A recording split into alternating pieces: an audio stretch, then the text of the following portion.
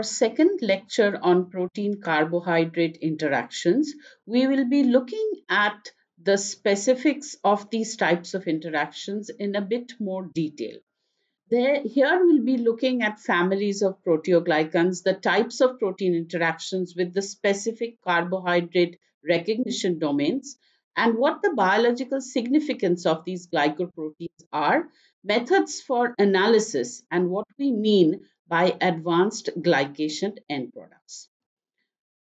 In a tetrasaccharide linker that we have for the proteoglycans, we will see what amino acid residues are involved in this specific recognition. If we look at what proteoglycans are, there are around 40 types of proteoglycans which are able to be produced by mammalian cells. Now of these we see there is here there is a core protein that has a C terminus and an N terminus. What happens here is we have a tetrasaccharide linker that is blue that is connected with the chondroitin 4 sulfate. We looked at this specific type of interaction or the specific type, type of linkers that are available where we have the core protein and we remember that it was linked to the serine amino acid residue. Now, at the reducing end of the linker here, xylose, for example, in this particular case, is joined to the OH of the serine amino acid side chain by its anomeric carbon. And this tetrasaccharide linker then connects the protein with this specific chondroitin sulfate. There are two major families of membrane heparin sulfate proteoglycans. These are the syndecans. This is a single transmembrane domain. When we looked at the membrane proteins, we found that they were based on carbohydrate linkers to these proteins that were available for several biological activities, including cell-cell addition, trans signal transduction, and so on and so forth. So to understand how these are linked together is important in looking at their domains, their specific types of interactions, and how they may be linked to other proteins. So this specific type, the syndecan, is a single transmembrane domain and it has an extracellular domain that carries three to five chains of a heparin sulfate. In some cases, this may be also chondroitin sulfate. Glypicans, on the other hand, they are attached to the membrane by a lipid anchor. So a derivative of the lipid phosphatidyl inositol. So what we have here is the linkages here of the carbohydrates to the protein can be involved by a lipid anchor or could have a specific domain that would link these to the proteins. Now, what can happen is both of these can actually be shed to the extracellular space available. There are specific domains that are called highly sulfated domains. So, if we look at a pictorial representation of our membrane, our lipid bilayer membrane, and try to identify and look at the different connectivities that link these carbohydrate units to our proteins of interest. So if this is a rough a cartoon representation of the protein chain, we have the amino and the carboxy terminals. And to this, we have attached, say, heparin sulfate or chondroitin sulfate on the outside. So this then would be recognized by other proteins or by other activities in the cell, other moieties in the cell that would link these with them for the specific functionalities that would be required. In this case, we have a glyco anchor here, the GPI anchor, and here we have a globular domain that has, so this is the linker, and this is our domain, which has, as we can see, disulfide linkage, a regular protein domain. So the core protein that is present here is then linked to the sites. Now, for there are sometimes specific cleavage sites that shed these glycoproteins to the extracellular space. This is an example of syndecan and this is an example of a glypican. Now, in the membrane, therefore, we have the syndecans that are held by hydrophobic interactions because they were in the lipid membrane bilayer that we saw. So we know that the lipid membrane bilayer and the protein was a single transmembrane protein. So the hydrophobic interactions are important here, where we would have a sequence of non-polar amino acid residues and plasma membrane lipids. And what happens is they can be released by a single proteolytic cut near the membrane surface, as we saw in the previous slide. Glypicans, on the other hand, are held by a covalently attached membrane lipid, that is the GPI anchor, and they can be detached where the bond between the lipid portion of the GPI anchor, that is the phosphatidyl inositol, and the oligosaccharide linked to the protein is cleaved by an enzyme called phospholipase. So this is where the specific glycoprotein can be released due to a prote proteolytic cut that is enzyme driven. So this proteoglycan shedding is involved in cell-cell recognition and adhesion and is highly regulated and activated in also the proliferation and differentiation of cells. So a protease in this extracellular matrix is it cuts close to the membrane surface and it releases these ectodomains of the specific proteoglycans. The proteoglycan shedding, for example, has this phospholipase, the enzyme that breaks the connection to the membrane, membrane lipid to release the glypicans. We can also have chemical release of the glypicans, where in this case what happens, there is hydrazinolysis, where an anhydrous hydrazine is used to cleave the complete glycan from the peptide backbone. So we understand that this necessary is this is necessary for the proteoglycan shedding for specific activities related to the cell. Now what happens is because these mechanisms that result in proteoglycan shedding, they are a very uh, common way where a cell can change its surface features quickly. So understanding that when we have the cell membrane, the cell membrane where, where the integral cell membranes, if we are looking at that, have these carbohydrate connectivities or the, high, the carbohydrate connections to them, and they are cleaved off. This adopts or the membrane surface will adapt to a different type of surface feature. So this may be involved in surface surface recognition for cell cell addition and other activities as well. The glycoproteins in general, therefore, will have are specific glycosaminoglycan chains, they bind to a variety of extracellular ligands and they can modulate the ligand interaction with specific receptors on the cell surface, which are important for the functionalities that they are involved in. So if this is our overall protein chain that is either embedded or on the surface of our membrane of the cell, then we can have a variety of linkages of these different types of carbohydrates that can then be used for different properties. For example, if we look at a conformational activation, a conformational activation where we have heparin sulfate, we have then the antithrombin. So there is a protein antithrombin on the on binding a specific pentasaccharide NS domain results in the interaction with the blood clotting factor. Now, this blood clotting factor prevents the blood clotting.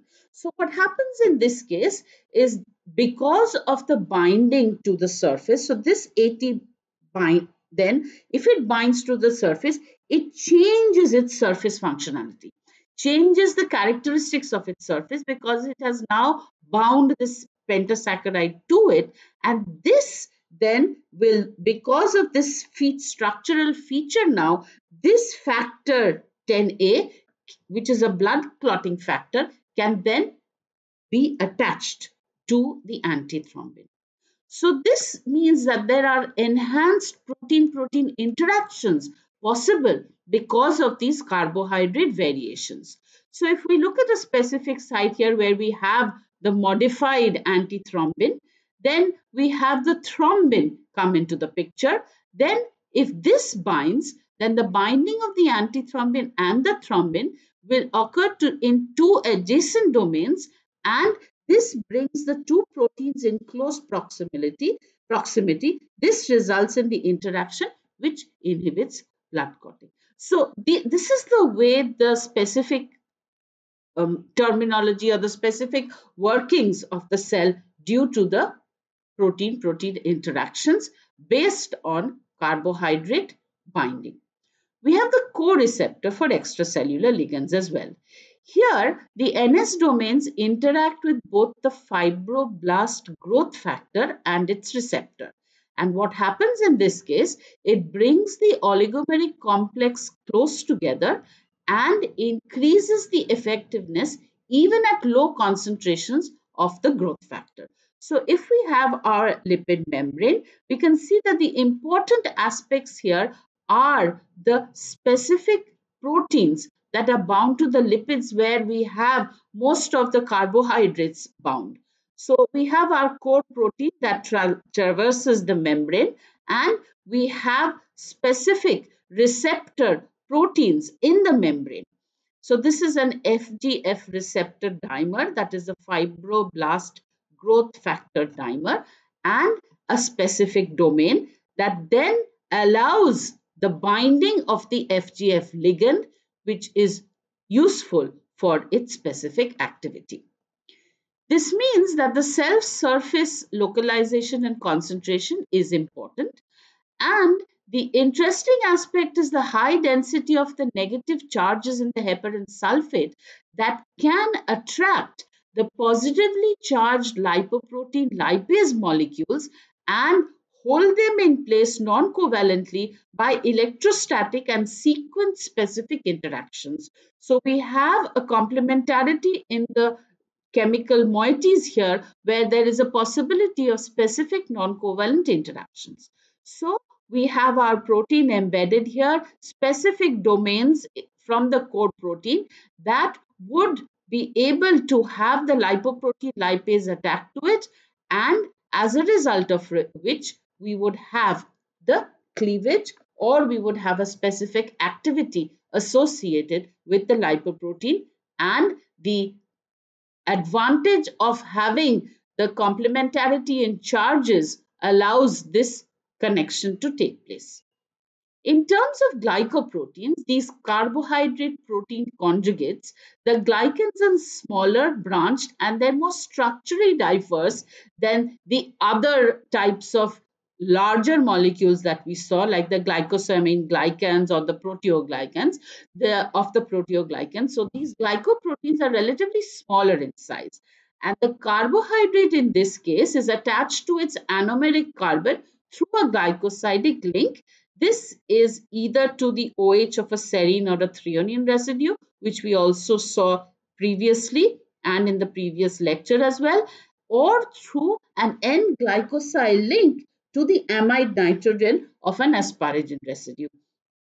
So these residues are important in the connectivity of the protein with the specific sugar moieties.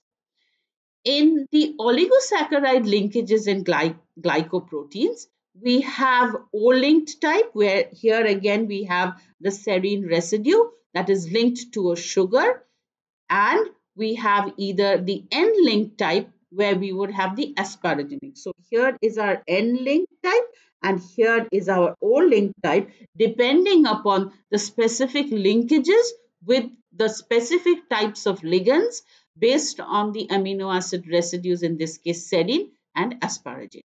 So when we look at this, if we have look at specific examples, so we have this is the way they would be connected in their oligosaccharide linkages in the glycoproteins.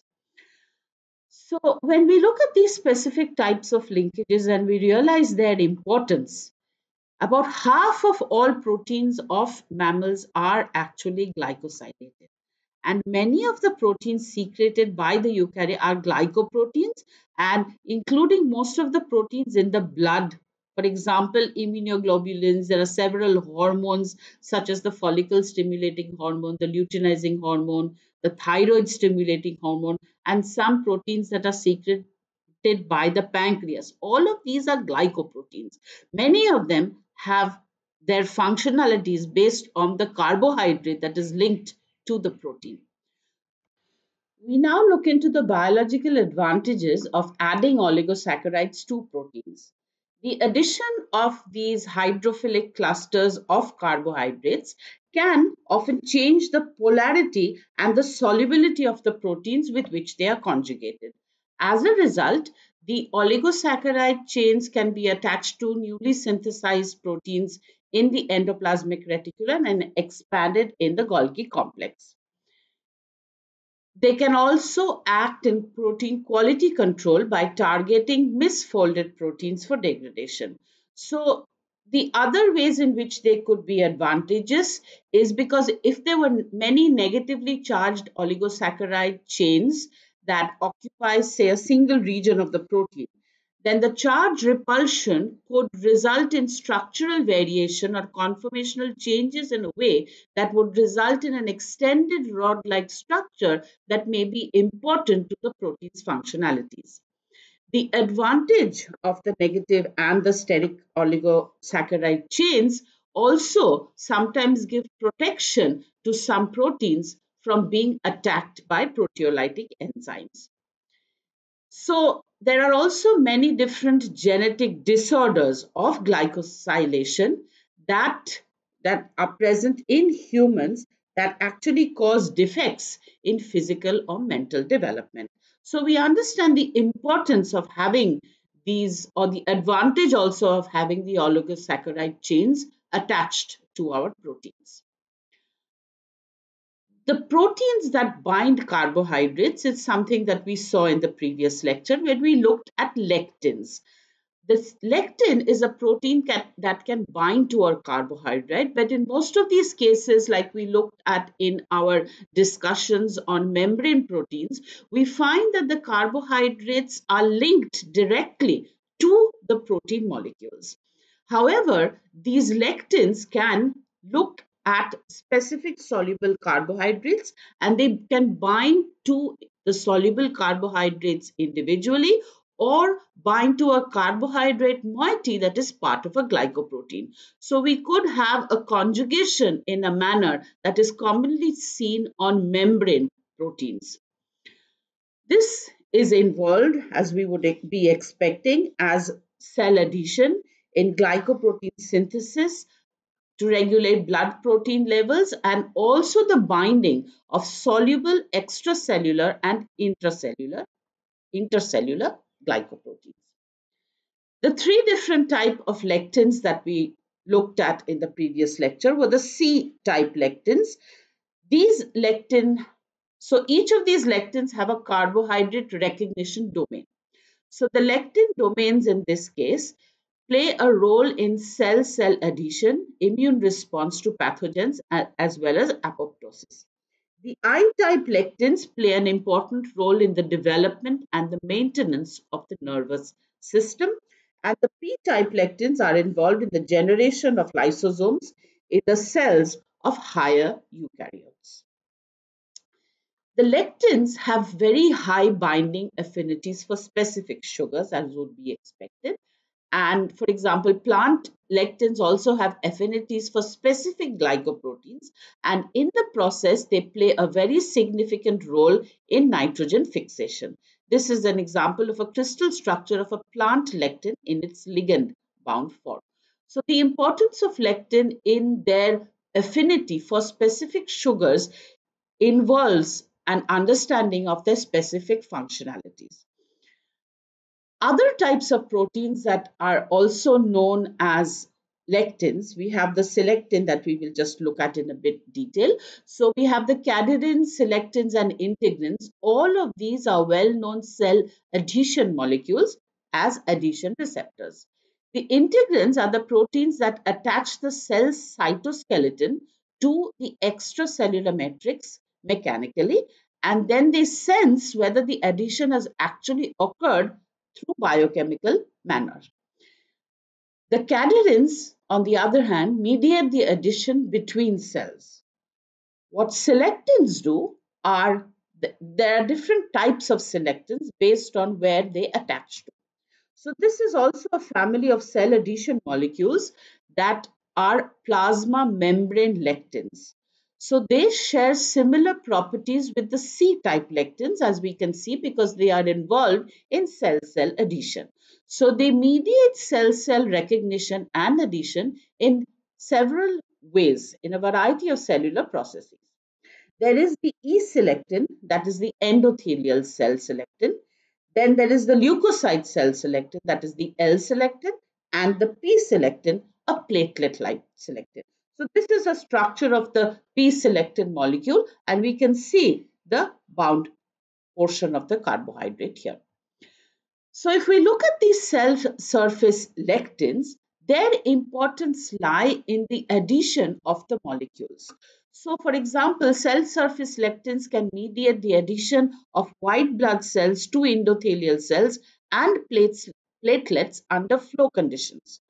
For example, we can have the movement of immune cells, the leukocytes, through the capillary wall from blood to tissues at the sites of infection or inflammation and these lectins are involved in the cell adhesion properties or the cell adhesion functionalities that are required for this process to occur. The selectins are a single chain transmembrane glycoproteins. We had discussed transmembrane glycoproteins in our membrane proteins lecture. What they have is they have an extracellular domain that binds to the carbohydrate moiety, a transmembrane domain, and an intracellular domain that binds to the cytoskeleton.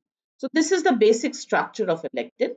And in the variety of lectins that we saw, the E, the L, and the P, what they do is they have a variation in their units for this. So we have the L-selectin, the P-selectin, and the L-selectin. So the E, L, P-selectin, each of these have a variation and they could be 3, 5, 7, 9 units depending upon their specific function.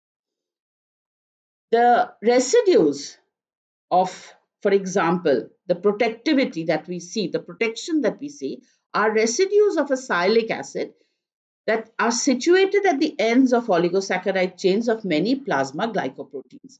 Now, what these do is these protect these proteins from uptake and degradation in the liver.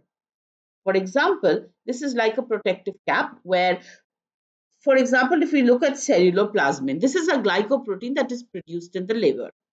Now, the receptor-ceruloplasmin interaction can trigger endocytosis and could result in the destruction of ceruloplasmin.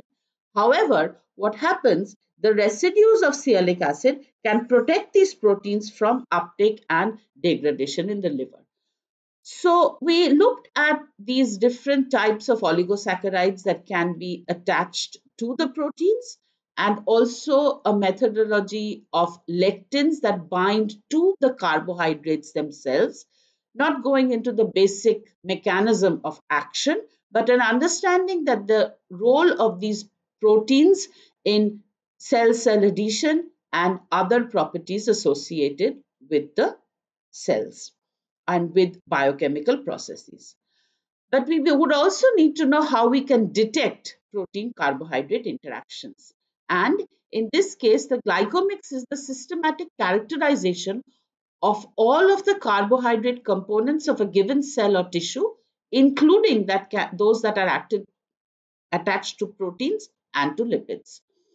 So what happens if we do a test for glycoproteins, it can determine whether the proteins are glycosylated and where in the amino acid sequence the oligosaccharide is attached and it offers into normal patterns of glycosylation and they can be altered in the case of disease.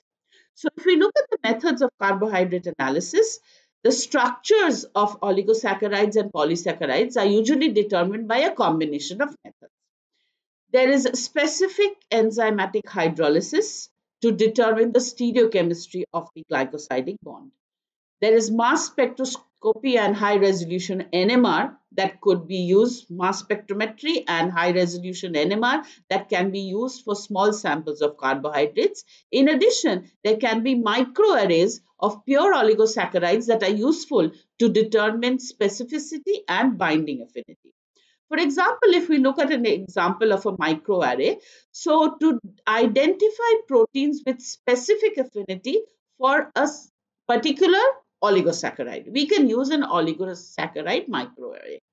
This is a microarray plate, a cartoon representation of microarray plate, and we have the attachment of the specific oligosaccharide on the attached to this microarray plate.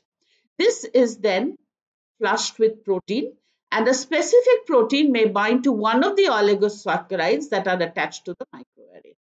The rest is then, so we have the probe with the fluorescently labeled glycan binding protein.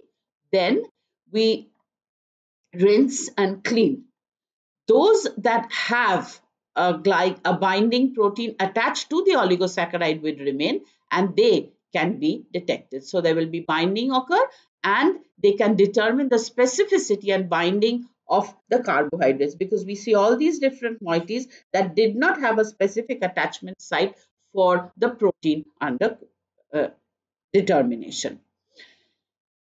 Another very important method is glycated hemoglobin detection, which is a form of hemoglobin that is chemically linked to a sugar.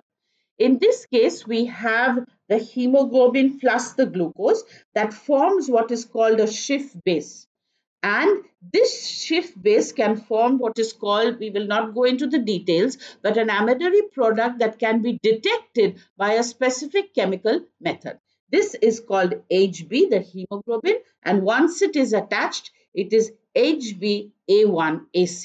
This is a typical test method to determine the amount of sugar connected. So, glycated hemoglobin, commonly known as HbA1ac, is a form of hemoglobin that is used to measure average plasma glucose concentration over prolonged periods and is a commonly used pathological test.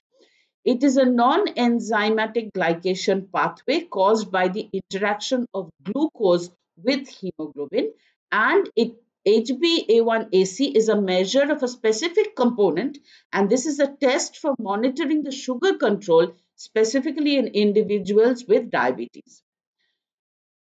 In the hemoglobin glycation reaction, there are the production of advanced glycation end products so we looked at the formation of the Schiff base. This is followed by a series of rearrangements, oxidations and dehydrations.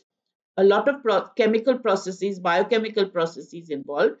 And it produces a mixture of what are called these advanced glycation end products or AGEs that can be monitored to check the extent of the glycation reaction on hemoglobin.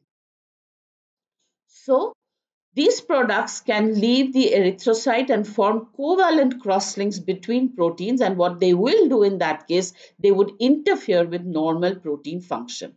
So in people with diabetes, there is the accumulation of the high concentrations of AGEs, the advanced glycation end products, by cross-linking critical proteins that can cause damage to the kidneys, the retina, and also the cardiovascular system. You will hear, you can probably heard about diabetic retinopathy, which is where the retina is involved. So what we have looked at in these two lectures of proteins and carbohydrate interactions is we have looked at the family of proteoglycans, the types of protein interactions with domains, which amino acids are specifically involved in the interaction with the carbohydrates, the biological significance of the glycoproteins, and methods for carbohydrate analysis, and an example of how we have the lectins that are the specific proteins that bind carbohydrates or carbo glycoproteins where they have already been bound to a sugar. And we looked at advanced glycation end products in a manner to check for diabetic patients in the case where the glucose levels are high. These are the references. Thank you.